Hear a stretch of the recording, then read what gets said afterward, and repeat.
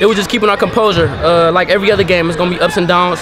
Uh, especially for me, I, I wasn't having the best of the game, but I just tried to keep my composure, keep my confidence, and try to lead my team to a victory.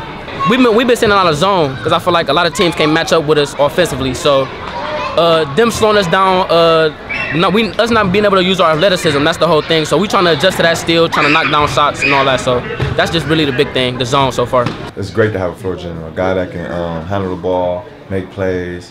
Uh, as you see, he's probably, if not the best ball handler in Northeast Ohio, he's one of them. You can't. It's hard. I don't care who we play. They can't just take the ball from him.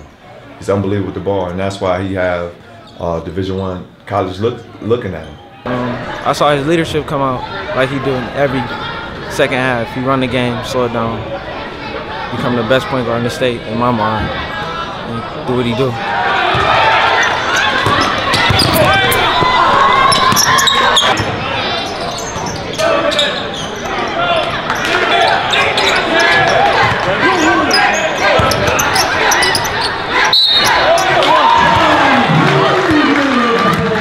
You play tonight without Tyler. You don't have Andre for the last four minutes. Right. What did this group show you tonight? Do you think? resilience. They kept fighting, and then you, I had some guys come in from uh, off the bench that contributed. Andre Franks, he's a tough, hard-nosed defender. He's a football player, a really good football player, but tough, hard-nosed. He came in, he fought, he guarded Norman Hughes. I don't think Norman Hughes scored the second half. Right, so that was the adjustment at half.